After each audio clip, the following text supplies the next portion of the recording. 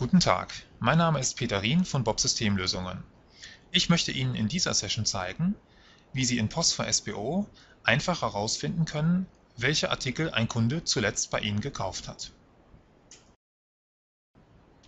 In diesem Beispiel möchte der Kunde Hans Muster erneut einen Drucker kaufen, den er bereits vor einiger Zeit gekauft hatte. Er kann sich jedoch nicht mehr genau erinnern, um welches Modell es sich gehandelt hat. Über den Reiter Kunden F3 und die Kundensuche suchen wir nach dem Kunden Muster. Über einen Rechtsklick auf den Kunden Hans Muster und die Funktion Artikelübersicht werden alle Artikel angezeigt, die von Herrn Muster bisher gekauft wurden. Per Doppelklick auf die Spalte Bezeichnung werden die Artikel sortiert.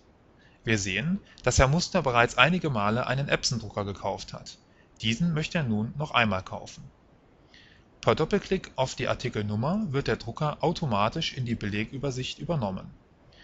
Dort kann er nun per F12 verkauft werden.